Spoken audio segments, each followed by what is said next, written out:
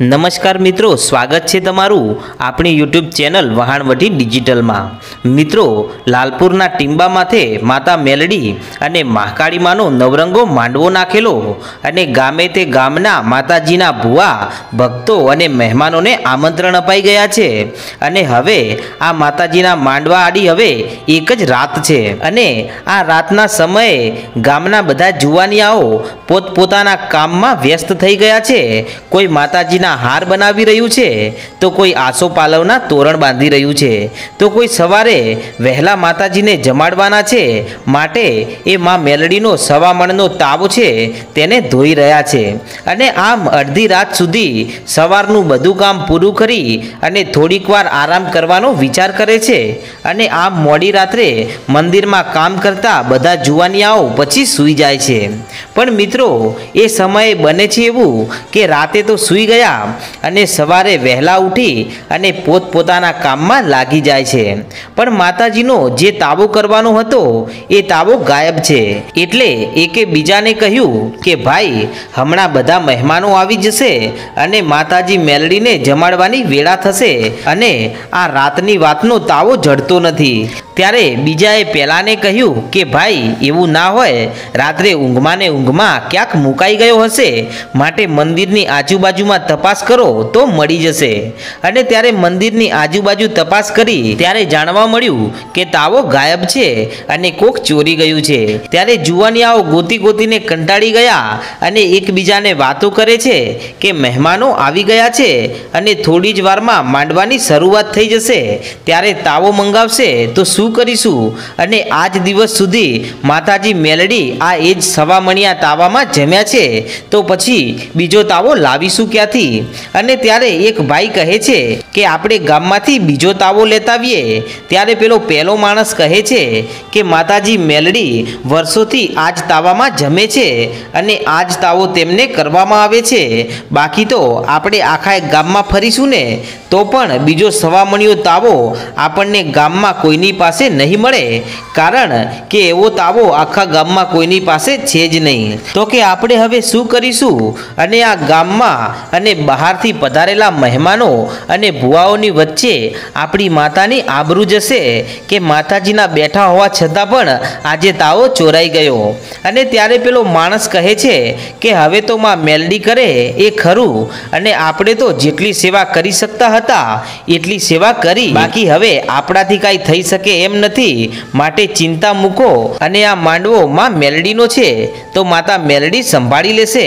કેમ કે આ માંડવો કરતાં પહેલાં જ્યારે આપણા ભુવાજીએ રજા લીધી હતી ને, ત્યારે માતા મેલડી કહી ગયા હતા કે મારા માંડવામાં હું ક્યારેય કોઈ પણ વાતની ખોટ નહીં પડવા દઉં. તો આપણે ચિંતા કરવાની કોઈ જરૂર નથી. કારણ કે માં મેલડી આ માંડવામાં કોઈ પણ પ્રકારની ખોટ નહીં પડવા દે.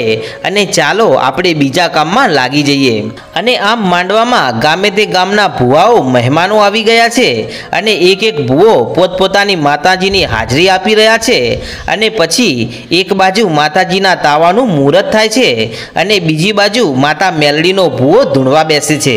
ત્યારે હજારો માણસોની વચ્ચે તાવો મંગાવવામાં આવે છે કે જાઓ જાઓ, જુવાની આવો. હવે માતાજીનો સવામણીઓ તાવો લઈ આવો. કેમ કે હવે માતાજીનો તાવો જમાડવાનો સમય થઈ ગયો છે અને માતાજી મેલડીના ભુવાજી હવે બે હાથેથી ઉકળતા ગરમ ગરમ તેલમાં હાથ નાખી અને પૂરીઓ બહાર કાઢશે અને તો પણ એમને કશું જ નહીં થાય, કારણ કે આ તો માતા મેલડીનો ચમત્કાર છે.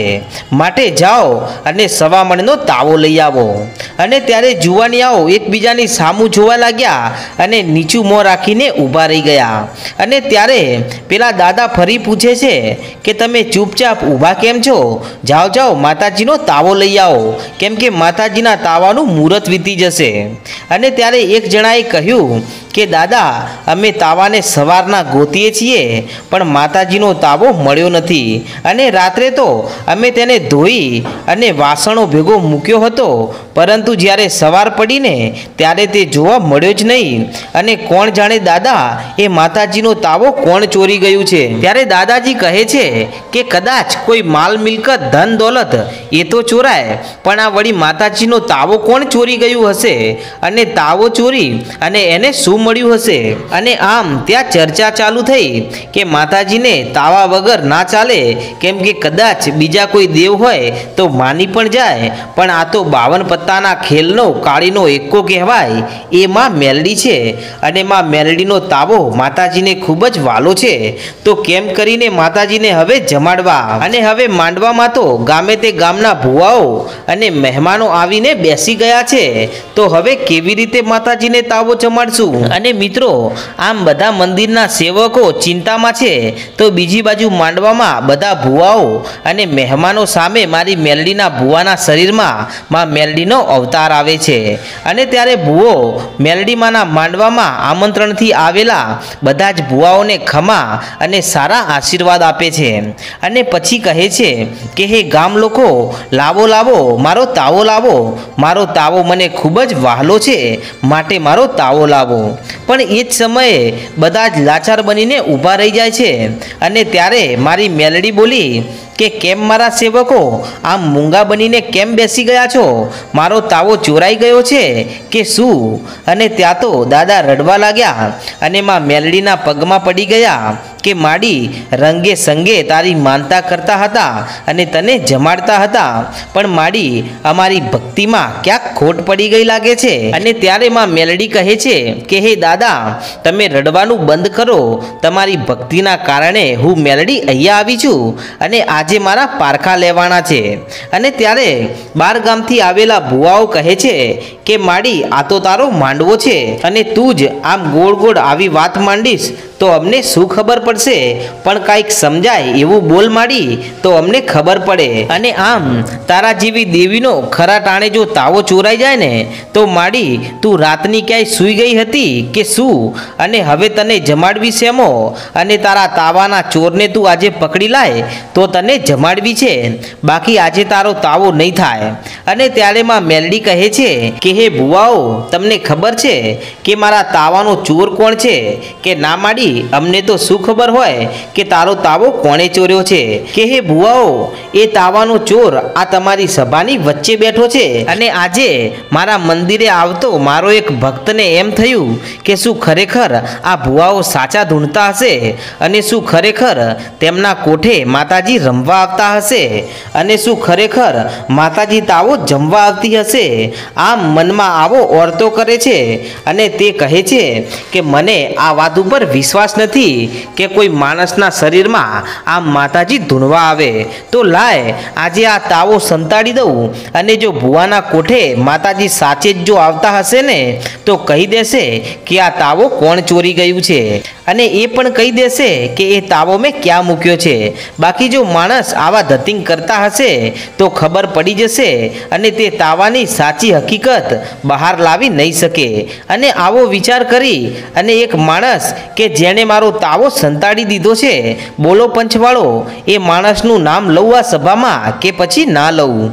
અને ત્યારે મહેમાનો અને બહારથી આવેલા લોકો કહે છે કે, માડી, તારે નામ તો લેવું જ પડશે. નહીતર અમને એમ લાગશે કે માતાજીનો તાવો ચોરાઈ ગયો. એટલે ભુવાએ મનગણત કહાની બનાવી અને બધાને સમજાવી નાખ્યા. અને ત્યારે માં મેલડી કહે છે કે, હે ગામના મુખી, આમ આગા ખૂણે જઈને કેમ બેઠા છો? આમ માંડવાની વચ્ચે આવો અને આવી અને આ મહેમાનોને કાંઈક જવાબ આપો. તો એમને પણ ખબર પડે કે તાવો ક્યાં ગયો? નહીતર હું એ માતા મેલડી છું કે એક વખત હું વિફરીને, તો પછી હું કાંઈ બાકી નહીં રાખું. અને ત્યાં તો એ ગામના મુખી જઈ અને માં મેલડીના પગમાં પડી ગયા. કે, હે મારી મેલડી, મને માફ કરો. મારા જેવા તુચ્છ માણસના મનમાં આવા હલકા વિચારો આવ્યા અને હું તમને ઓળખી ના શક્યો. અને તમારા તાવાની ચોરી કરી અને મને માફ કરો. તમારા તાવાને હમણાં જ પાછો લઈને આવું છું. એની ચોરી મેં જ કરી છે. અને ત્યારે માં મેલડી કહે છે કે હે મુખી, એમ નહીં, પરંતુ વાગતા ઢોલે માથા ઉપર તાબો ઉપાડી અને ગામની બજારની વચ્ચે થઈ અને મારા મંદિર સુધી આવે ને, તો જ આ મેલડી તાવો જમશે, બાકી હું તાવો લઈશ નહીં. અને ત્યારે ગામ લોકો મળી અને મુખીને ખૂબ બોલ્યા અને તેમના ઘરેથી માથે તાવો ઉપડાવી અને આખા ગામની વચ્ચે થઈ અને તાવો લઈ અને પાછા માં મેલડીના મઢડે આવ્યા. અને જેવો તાવો નીચે મૂકવા ગયા ને, ત્યાં તો ફરીમાં મેલડી બોલ્યા કે, હે મુખી, આજથી જ્યારે પણ મારો તાવો કરવામાં આવશે ને, ત્યારે તારે જ આમ માથે ઉપાડી અને આવવું પડશે. અને આ વાત તમને મંજૂર હોય, તો જ હું આજે તાવો જમીશ. બાકી તો મારો તાવો તમે કરશો, તો પણ હું મેલડી જમીશ નહીં. અને ત્યારે મુખી બે હાથ જોડી અને માં મેલડીને કહે છે કે, હે માડી, તમે મને માફ કરો, હું તમારો ગુનેગાર છું. અને આજે આ પાંચ ગામના માણસોના પંચની વચ્ચે હું વચન આપું છું કે જ્યાં સુધી હું જીવીશ ને, ત્યાં સુધી હર વર્ષે માં મેલડીના સવામણના તાવાને મારા માથે ઉપાડીને લાવીશ અને પછી જ માં મેલડી હું તમને જમાડીશ. અને પછી આવી કબૂલાત કર્યા પછી મારી મેલડી એ મૂકીને માફ કરે છે. તો મિત્રો, આવા ઇતિહાસ છે મારી મેલડીમાંના. મિત્રો, તમને આવા ઇતિહાસ રોજે રોજ સાંભળવા ગમતા હોય, તો આજે જ અમારી ચેનલ વહાણવટી ડિજિટલને સબસ્ક્રાઈબ કરો.